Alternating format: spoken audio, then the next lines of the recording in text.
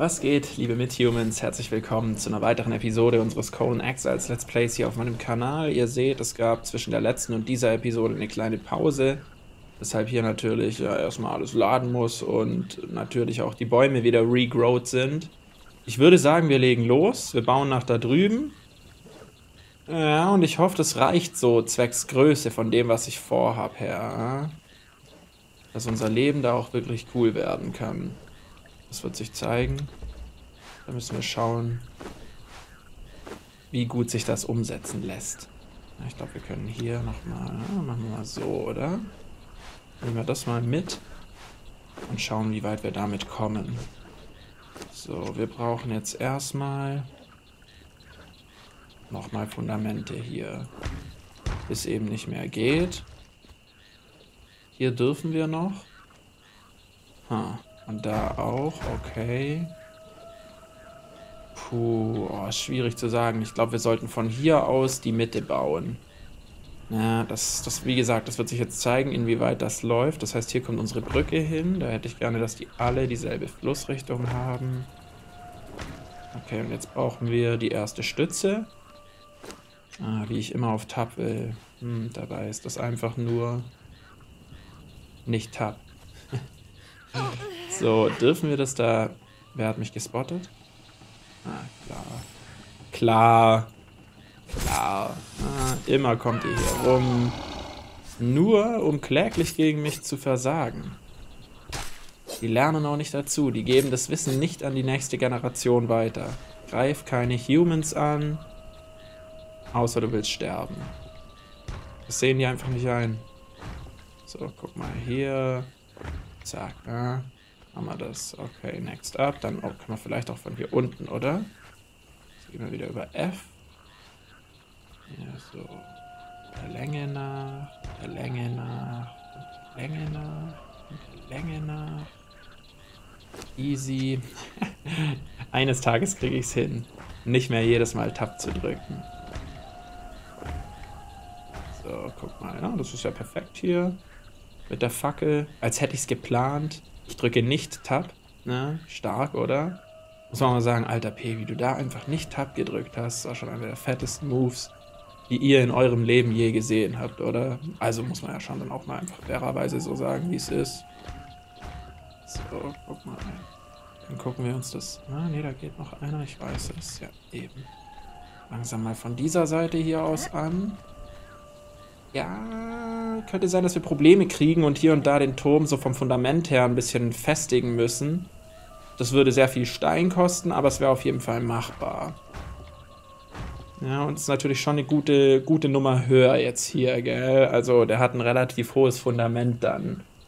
Ist aber alles easy, alles kein Thema, ja? Kriegen wir alles hin, da mache ich mir keinen Kopf. Das, das wird schon. So.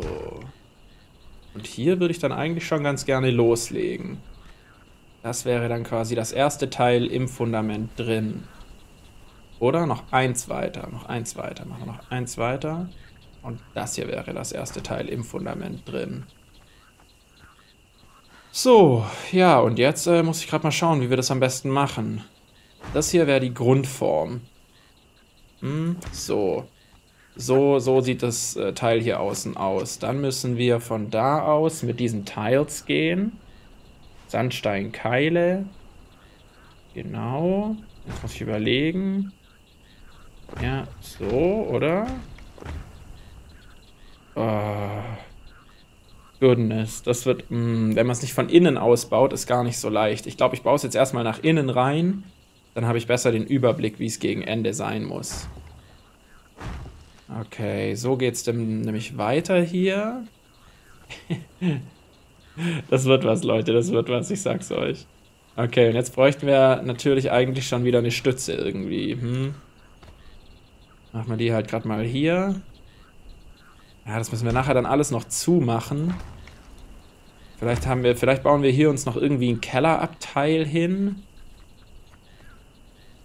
Boah, dann müssten wir hier aber eigentlich die letzte wie viele waren das jetzt? Drei, gell? Dann müssen wir das letzte da eigentlich wegmachen.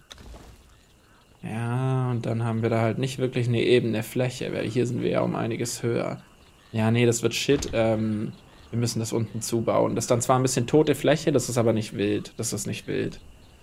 So, dann gucken wir weiter. Brauchen wir die hier wieder. So, und dann sind wir in der Mitte angekommen.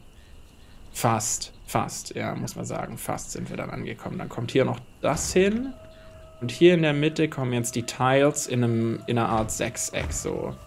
Oder beziehungsweise, wie, wie viele Ecken sind das dann? Ja, ihr wisst Bescheid. So in der Art ungefähr wird es dann, wird es dann laufen. Mhm. So, und jetzt gehe ich da oben drauf und baue von oben aus weiter. Ne, jetzt baue ich es erstmal in die andere Richtung. Dann haben wir einen groben Überblick, wie langstreckig das wird. so, ja, guck mal, dann müssen wir hier schon wieder mit einer Säule ran. Und aushelfen. Alles klar, dann kommen hier wieder zwei hin. Ist eigentlich ganz einfach, wenn man mal gecheckt hat, wie das Muster aussieht.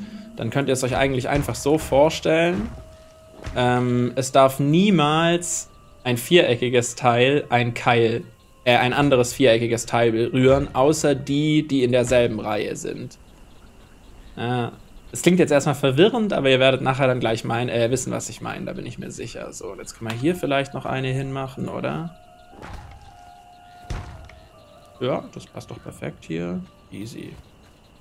Ja, dann gucken wir uns die Geschichte mal an. Gehen wir mal da drauf und schauen mal, gerade eh noch ein bisschen Stein mitnehmen und so, wie es da aussieht. Wird auf jeden Fall ein cooler Turm, wird auch eine große Fläche für den Turm, ja, definitiv. Ich gehe hier für mit das größte Modell eines Kreises, das mir da bekannt wäre. Man kann aber theoretisch, glaube ich, eigentlich immer weiterbauen. Letzten Endes äh, macht das, macht das nichts, macht das keinen Unterschied.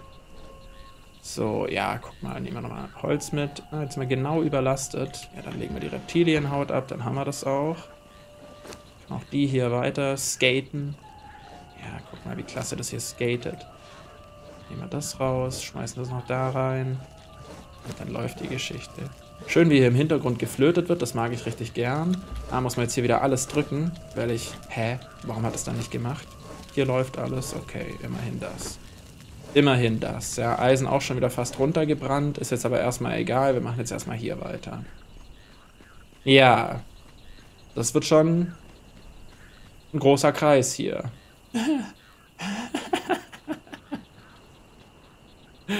ja, kann man nicht anders sagen. Okay, dann machen wir hier mal weiter. So. Bin ich gespannt, wo wir überall bauen dürfen. Eigentlich ist jetzt auch egal, wie die Fluxrichtung von denen ist. Ja, also in welche Richtung hier diese, hm, wisst ihr, wie ich meine, diese Querstreben unten an den Teilen gehen, denn die sehen wir dann eh nie. Ja, deswegen können wir da jetzt in dem Sinne gediegen drauf scheißen. So, dann kommt wieder hier so eins hin. Ja, ihr seht, immer, immer, immer versetzt zueinander sozusagen. Wenn wir es von innen aus betrachtet, haben wir innen Dreiecke, dann kommen Vierecke an die geraden Kanten der Dreiecke, dann kommen dazwischen wieder Dreiecke und danach kommen nach den Dreiecken kommt ein Viereck und hier nach dem Viereck kommen drei Dreiecke. Ja, das ist quasi euer ewiges Muster. Achso, hier habe ich, ja, ja, genau, hier müssen erstmal noch die Vierecke hin. Kommt man mal schnell durcheinander ansonsten. Zumindest ist das bei mir hier und da so. Und da brauchen wir langsam wieder mehr Fundament.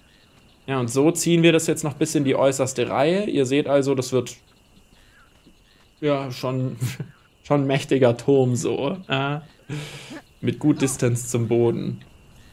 Aber wie gesagt, was sollen wir machen? Ist jetzt halt wie es ist. So, machen wir das hier mal, machen wir das da mal. Mhm, da will ich aber, glaube ich, noch eins hinsetzen. Ja. Das sieht man zwar danach nicht mehr, wie ich gerade schon mehrfach betont habe, aber es stört mich dann trotzdem, wenn ich das so im Kopf habe, ah ja, da äh, passt es nicht so ganz. Ne? Das äh, geht natürlich nicht. Wenn ich hier so ein Riesenprojekt angehe, dann will ich mich auch gut dabei fühlen. Ja? Das ist dann schon wichtig. So. Das ist äh, sehr wichtig, würde ich sagen. Jetzt teilen wir das noch schnell auf und tun davon ein bisschen Aspekt. Ähm, ja, müsste das genau passen. Ideal. Ideal. Ja, dann machen wir hier genauso weiter, wie gehabt. Also holen wir wieder unseren Bauhammer raus, machen hier an die Vierecke, äh, an die Dreiecke jeweils Vierecke ran. Ja, hier ist das jetzt ja schon der Fall. Hier noch, Dann kommen dazwischen wieder Dreiecke. Mhm. Genau. Seht ihr mal, und dann geht's auch eigentlich ruckzuck hier, so das Fundament eines Turms zu bauen. Wir sind dann ja noch lange nicht durch. Ich meine, dann kommen ja noch Wände, zwei, drei Etagen. Also der wird schon, ja, wird schon ein Projekt jetzt hier, kann man nicht anders sagen. Wird schon ein kleines Projekt. Aber wir haben auch noch gut Stein und es ist jetzt ja auch kein Act mehr wirklich für uns, äh, Stein zu farmen. Ja, haben wir ja ruckzuck drin. Ist ja gar kein Thema. Haben wir ja gesehen, okay, braucht dann schon mal eine Folge, aber dann können wir hier auch ordentlich bauen. In dem Sinne denke ich, das passt schon. So, na, jetzt ist hier an. Da sehen wir, es werden immer mehr Dreiecke hier. Und dann haben wir da richtig schön eine annäherungsweise runde Fläche erstellt, auf der wir dann super bauen können. So, äh, dann kommen wieder die hier, hier. Okay, dann müssen wir hier eins hinbauen. Hoffentlich klappt das jetzt auf jeder Seite. Ja, perfekt. Und dann kommen da nämlich wieder Fundamente hin, oder? Also, äh, ihr wisst, wie ich meine. So, wie sagt man? Stützen. Also, Sandsteinsäulen, genau. Die kommen dann da wieder hin. Perfekt. Perfekt. So, hier. Mhm, und da. Erebor. Jetzt muss man halt immer außen rumrennen. Wir könnten auch von unten weiterbauen, das stimmt schon, aber mh, hm, ich habe irgendwie, ich weiß nicht, macht mir das von oben mehr Bock. Ah, macht mir mehr Spaß. So, das wird doch cool hier, das wird doch cool. Jetzt haben wir wieder einiges an Möglichkeiten. Können wir hier noch die restlichen dran machen. Die sind jetzt wieder super gestützt. Sehen wir auch immer an der Farbe. Da haben wir schon. Hier noch und da noch. Und dann kommen noch die letzten Dreiecke hin. Und dann ist unser Fundament fertig. Ja. Klasse, oder? Und hier passt halt lässig ein Schrein rein. Hier kannst du zehn Schreine reinbauen. Also das nicht, aber ein Schrein passt da auf jeden Fall rein. Ja, da mache ich mir keinen Kopf. Ja, guck mal, das ist jetzt unser Leben. Ist doch lässig, oder? Schon eine große Fläche, würde ich sagen. Da kann man gut, gut was mit anfangen, würde ich behaupten. Ja, und jetzt bauen wir noch Wände Richtung Boden runter, damit das da nicht so freistehend rumgammelt. Ja, oder ich finde so, das sieht nicht sonderlich ästhetisch aus. Das sollte schon noch irgendwie Kontakt mit dem Boden haben. Machen wir jetzt noch jeweils Wände hin. Und dann sichern wir das unten mit Fundamenten. Und dann können wir immer noch gucken, ob wir da unten dann noch irgendwie was hinbauen oder so. Oder eben nicht. Das wird sich zeigen äh, was meine ästhetischen Ansprüche da letzten Endes zu sagen. Und dann sieht es leider stark so aus, als müssten wir direkt nochmal eine Runde Steinfarmen gehen. Ha? Und zwar eine mächtige Runde. Also nochmal mindestens genauso viel wie vorher. Obwohl man sagen muss, wir haben einen ganzen, ganzen Batzen davon zu Dingens weiterverarbeitet, zu Ziegeln. Das machen wir jetzt dieses Mal in dem Sinne nicht. So, Außenseite, genau. Außenseite, genau. Außenseite, genau. Ja, dann bräuchten wir da schon Fundamente drunter, während wir hier wahrscheinlich das zweimal machen können. Nee, noch nicht. Sie ist nicht da. Aha. Ja, nice. Da müsste doch jetzt das zweite langsam rangehen, oder? Nicht? Kann man da nicht unten andocken irgendwie? Muss da dann schon ein Fundament hin? Weil das wäre problematisch für uns. Ja, genau. Äh, so. Zeig doch einfach nach außen. Ist doch. Äh, so schwer ist es doch eigentlich nicht. Wie man da jedes einzelne noch einmal drehen muss, ey. Das ist schon ein bisschen cringy, aber. It is what it is, ha? Muss dann halt sein. Äh, wer schöne Dinge bauen will, muss leiden. Äh? Das, äh, jeder kennt das Sprichwort. So, guck mal hier. Ja. Ja. Ja. Hm. Ja, das wird schon, das wird schon ein mächtiges Projekt. Aber wisst ihr, da können wir dann erstmal alles bauen, was wir brauchen. Und darum geht es letzten Endes. Ja. Man muss halt manchmal ein bisschen Zeit investieren und dann kann man sich danach wieder so ein bisschen den spaßigeren Sachen widmen. Aber ich finde so Bauen auch, ja, es macht ja schon auch Bock, wenn man so dann am Ende sein Werk begutachten kann und so denkt, ah ja, sweet, das haben wir gebaut. Genial, das ist schon cool. Ha? So, dann muss der hier, glaube ich, weg. Hm. Bäume ernten Progress, okay. Haben wir da also heute eine Quest drauf? So, klasse. Okay. Und jetzt müssen wir da irgendwie Fundamente ranbauen, wenn ich das richtig verstanden habe. Ha? Ja. Okay. Das heißt, das hier muss weg. Und die hin. Okay. Dann müssen wir da natürlich immer gucken, dass wir das auch richtig machen. Ja, dann kommen hier Dreiecksfundamente hin und hier wieder viereckige. Ach. Ach, ach, ach. Solange wir da noch unseren Progress füllen, ist ja alles cool, ja. So, schaut mal, die kommt weg, dann kommt es da so hin. Dann kommen hier, gibt's da, ja, perfekt.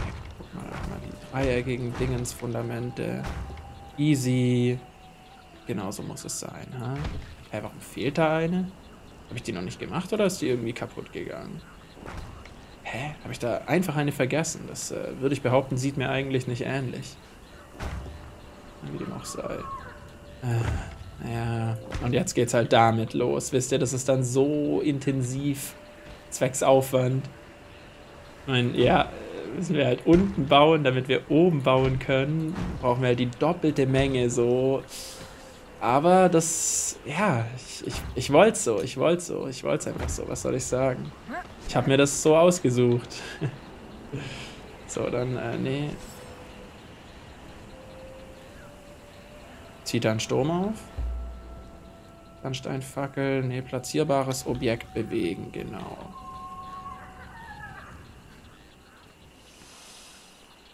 Irgendwas hat mich bemerkt.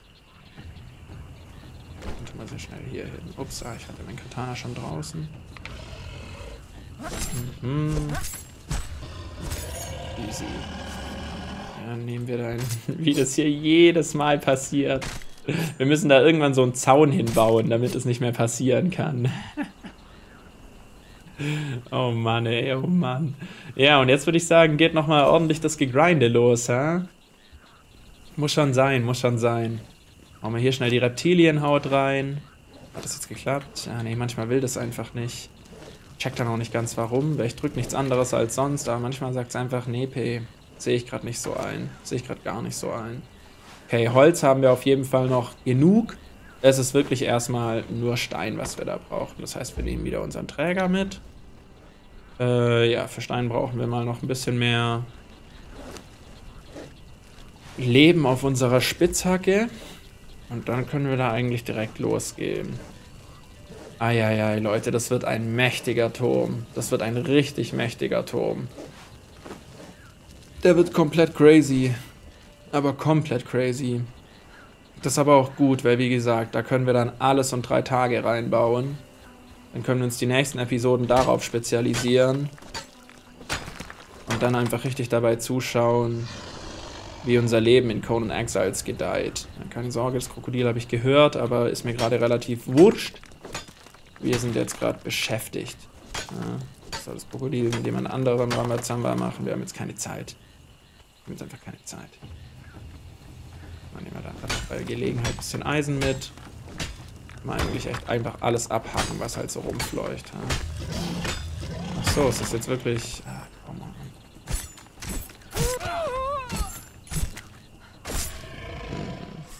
Da ist er schon wieder Level Up. Ah, Alter. Ich sag's euch, die Krokodile hier bei unserer Base, die sind, glaube ich, von Tycho RC. So wie der Air Rebound. Kennt ihr noch jemand? Seid ihr zu jung oder zu alt dafür? Der Air Rebound, Alter. Als ich damals schon dachte, dass Werbung scheiße ist. Und mittlerweile, Alter. Ist ja stellenweise katastrophal. Aber ich glaube, ich glaube, wenn man sich heute Werbung von mh, hm, noch sehr viel früher anschaut, dann ist das auch immer wieder Pain. Also so, ich kenne da diesen einen Werbeausschnitt, da fragt so eine Frau so ihren Mann, der hockt da gerade so in einem teuren Auto, macht so Business, ja, wie man es halt kennt, so Klischee und Stereotype aus der Hölle. Und dann sagt sie so, ja und, äh, was wollen wir denn heute Abend essen? Gell? Er so, ah, wenn du mich schon so reizend fragst, dann koch doch, was dir selber schmeckt, gell? Alter. Jo, das wäre heutzutage, würdest du instant gecancelt werden. oh Mann, ja, ja. Das Einzige, was sich niemals ändert, ist, dass sich alles ändert. Das ist schon einfach eine, ich würde sagen, wirklich eine der wenigen sozialen Wahrheiten, die ich ohne weiteres anerkennen würde. Würde ich schon sagen. Das, das stimmt einfach. Alles ist im Wandel, das läuft meistens. Da gibt es wenige Sachen, die irgendwie im Sozialen gleich geblieben sind, letzten Endes. Letzten Endes gibt es da nicht viel. So, schauen wir uns die Geschichte hier an. Brauchen so viel Stein wie noch nie brauchen komplett alles an Stein. Komplett alles, was es hier gibt, nehmen wir mit. Kann ich da beide auf einmal haken? Ja. Ja. Leider etwas zu spät. Da war die eine Ressource schon gekloppt. Ja. Hm. Einfach Steinfarmen. Einfach Steinfarmen. Ja, da muss ich schon sagen. Das wird aber halt auch einfach ein epischer Turm da drüben, oder? Ich finde jetzt schon das Fundament hat schon was, oder? Wird schon ein ziemlich großer Turm, kann man nicht anders sagen. Alter Leute, da werden wir so viel Wissen an, anstauen. Ja, da werden wir Alchemie drin betreiben, da werden wir zaubern, da werden wir Landwirtschaft drin machen, da werden wir oben unsere Gottheit, namentlich der Keto, anbeten und, und verehren und in ihrem Namen oh, richtig harte, wie sagt man denn da, gibt es dafür irgendwie einen beschönigenden Begriff? Wir feiern da Orgien hm, im Namen der Ketos. Und ja, da wird halt auch hier und da mal jemand getötet. So. Ach doch, das, das klingt doch eigentlich ganz nett so. Finde ich schon. ja, ja. Eigentlich können wir den Hit von denen immer easy mitnehmen, diesen Kreisel Dash weil das eh unsere masochistische Ader easy wegregelt. Gar kein Thema, schon längst wieder voll geheilt. Ist überhaupt kein Problem für uns. Okay, ja, das waren jetzt erst 2k. Ja, das stimmt mich. Äh, ja, das stimmt mich auf diverse Art und Weise, sage ich jetzt mal. Macht, lässt einen schon übers Leben nachdenken, so. Ich wünschte manchmal wirklich, ich würde... Wisst ihr, man könnte jetzt ja schon unterstellen, hey, ist ja schon ein bisschen stupide, was du hier gerade machst. Du läufst halt von A nach B und hackst da auf Steine ein. Ja, finde ich, kann man schlecht was dagegen sagen, oder? Äh, was man aber, was ich gerne manchmal einfach so für mein Leben gerne hätte, ist so die Tatsache, wenn ich drüber nachdenke, dass ich das hier mache und dass ich das hier auch gerne mal stundenlang mache. Ey, warum fällt es mir dann so schwer, irgendwie was zu lernen? Oder irgendwelche anderen, ich sag mal eher, na, wenn das sowas, sowas Eintöniges ist. Warum macht man das in Games so viel lieber als im echten Leben? Und ich glaube, der Schlüssel zur Beantwortung dieser Frage liegt in der Art und Weise, wie man im Leben Ziele formuliert. Ich mache das jetzt hier, damit ich an einem Tag was heißt in einem Tag, in ein paar Stunden einen kompletten Turm hochziehe und im echten Leben, was weiß ich, lerne ich fünf Stunden, um die ersten fünf von 100 Stunden äh, für eine Klausur gelernt zu haben oder so. Wisst ihr, wie ich meine? Also die, die Greifbarkeit ist A anders und ich würde auch behaupten, ich mag zwar mein Studium, aber die Ziele da sind mir sehr viel egaler und auch sehr viel ungewisser als ja, die in einem Game. Hier weiß ich, was mich erwartet. Im echten Leben erwartet mich aktuell ein Häusermarkt, der komplett am Arsch ist. Eine Umwelt, die besorgniserregend ist. Also in dem, vor allem im Betracht aufs Klima. ich sag mal, eine etwas ältere Riege, was Überbleibsel in der Politik betrifft, die das reichlich wenig interessiert. Oder zumindest, vielleicht interessiert es die, aber bestimmt nicht ihre Lobby. Ja?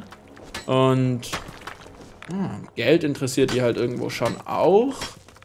Da ist dann immer schwierig. Da ist dann immer schwierig. Will nicht sagen, dass Lobbyarbeit was Schlechtes ist. Ich meine, coole Sachen können ja auch eine Lobby haben. Passiert nur leider noch nicht allzu viel, wie ich finde. Hm? Aber das, das wird schon noch kommen. Das wird schon noch kommen. Ich sag's immer wieder, ich sag's immer wieder. Ich bin, äh, ich ernähre mich selbst seit einer Weile, Weile vegetarisch, aber es gibt hier da Ausnahmen, ja, sage ich ganz klar. Wenn ich zum Beispiel mit irgendjemandem unterwegs bin und irgendeine Person bestellt sich whatever, ja, lass es ein Döner sein oder so, und schafft den nicht, dann esse ich den doch auf, bevor ich irgendwie sage, so, oh ja, jetzt musst du halt damit leben, dass, dass du das jetzt wegwerfen musst und so. Also da, da bin ich, ich sag mal, nicht ganz so hinterm Prinzip, ey, der Mensch sollte keine Tiere essen, sondern ich bin, wenn dann, hinter dem Prinzip, ey, der Mensch sollte Tiere nicht so essen, wie wir das jetzt gerade praktizieren. Also die Art und Weise, wie wir an diese Tiere herankommen, die ist mir halt zuwider aus der Hölle. Ja, also ey, wenn ich mir vorstelle, du lebst irgendwo in der Wildnis und fängst dir da mal einen Fisch und isst den und das dauert echt lang und du isst dann auch den kompletten Fisch, weil, ja, ist ja nicht so selbstverständlich, dass du dann was zwischen die Beißer kriegst. Dann ist es halt ein ganz anderer Approach, als wenn man daheim mal den Kühlschrank ausmistet, ja, und da halt ein paar, was weiß ich, volle Packungen Fleisch dabei sind, aber die sind halt leider schlecht geworden. Kacke. Ja, das äh, ist dann halt eine andere Hausnummer, so find, finde ich. Ja, will ich hier auch niemandem aufschwatzen oder so.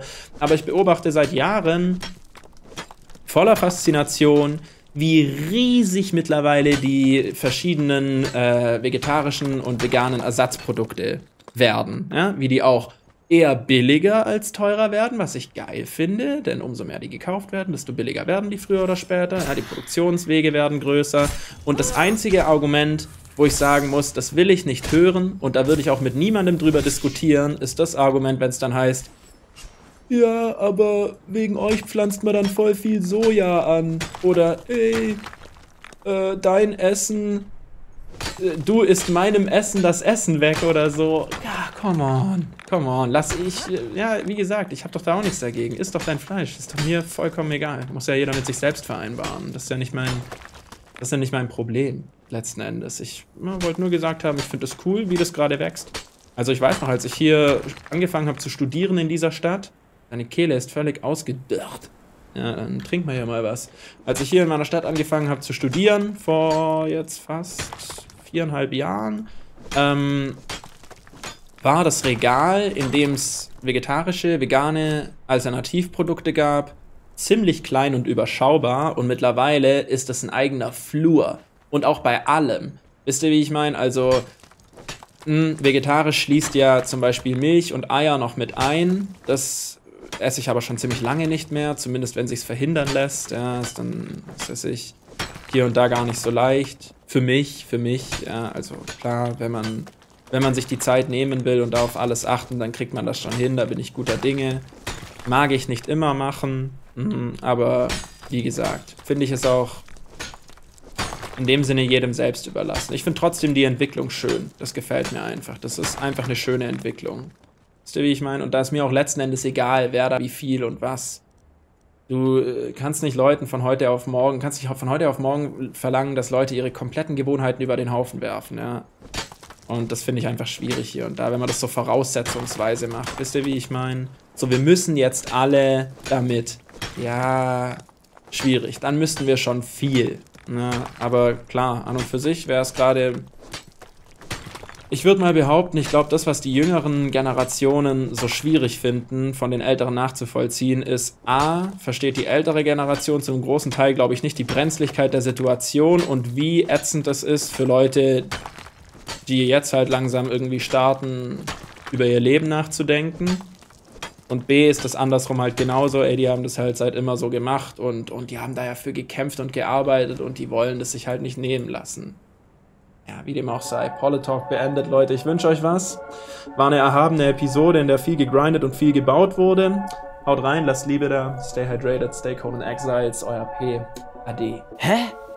Alles, was ich mache, ist für meine Gang. Ja. Alles, was ich mache, ist für meine Fam. Alles was ich mache ist für euch da draußen Also abonnieren und Daumen nicht vergessen, sonst gibt's Haue Der Garo ist heute wieder voll bepackt Ja Ich denke, der Bandit hat heute wieder voll verkackt. Ist mir scheißegal, Hauptsache das Bein ist ab. Yeah, Lil Baker Man.